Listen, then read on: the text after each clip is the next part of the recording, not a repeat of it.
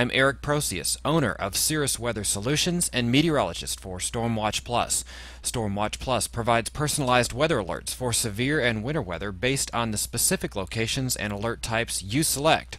I'm going to walk through how to configure Stormwatch Plus to receive these notifications. These instructions assume that you have already purchased the alerting capabilities in your app. In order to receive alerts, you must first configure the locations you want to be alerted for. Stormwatch Plus allows you to receive alerts for up to three static locations and one dynamic location using Stormwatch Plus route. We'll start with setting a static or preset location. You can set a location using a city-state combination, zip code, physical address, or by allowing the device to determine your exact location using GPS. Setting up a location using a physical address or GPS is recommended over the less accurate city, state, or zip code methods, but these options are available. On the settings screen, tap Add Location. You will then be asked to name that location. You may call it whatever you like. A short name, like home or work, is best. Enter the name of the location, then tap Choose Location. On the next screen, either manually enter an address or tap Use Current Location if you are going to use your device's GPS to set that location. We'll use GPS in this example, so we tap Use Current Location. After a moment, the location will be plotted on a map. If you are satisfied with the determined location, tap Use this location you have the option to change the location name or select a new location, but if you are satisfied, tap Use this location. The location you selected will sync with our secure Stormwatch Plus server and you will be returned to the main settings screen.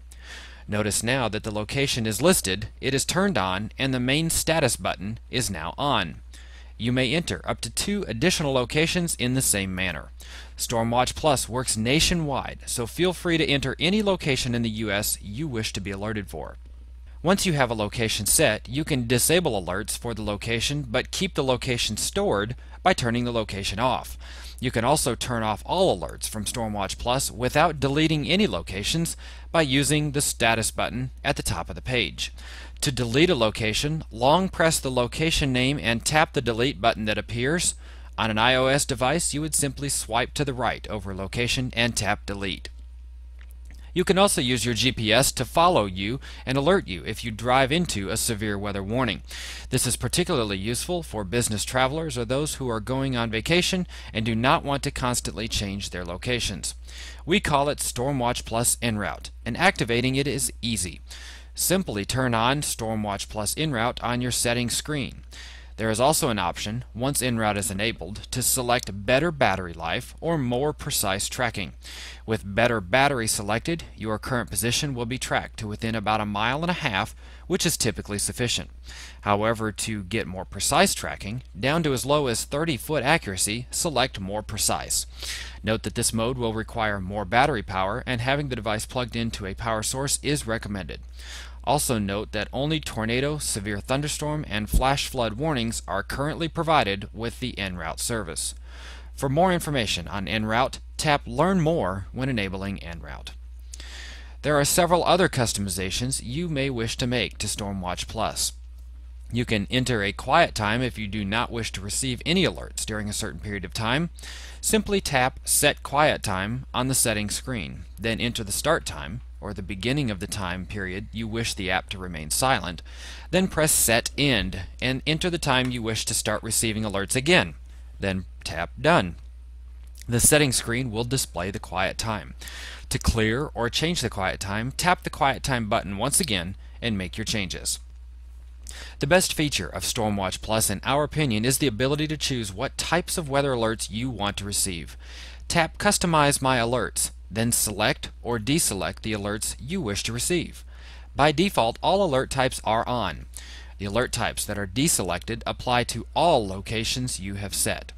When alerts are pushed to your device, you will hear the default notification sound that is set on your device, with two exceptions. For severe thunderstorm warnings and tornado warnings, a special alert will sound, which is the buzzing that accompanies emergency alert system notices, such as you might hear on commercial radio stations when a weather warning is issued, as well as a voice description of the type of alert you have received. We want to be sure to wake you if these alerts are issued while you are sleeping, as they are the most threatening to life and property. Disabling these is not recommended. In fact, a confirmation box must be acknowledged if you disable tornado warnings. After selecting the alert types you wish to receive, press the back button to return to the main settings screen. It is also worth noting that on Android devices, if your device is silenced when a push notification is received, you will still receive the notification, but you will not receive an audio alert, with the exception of tornado and severe thunderstorm warnings, which will override your device's silent or vibrate preferences and still sound.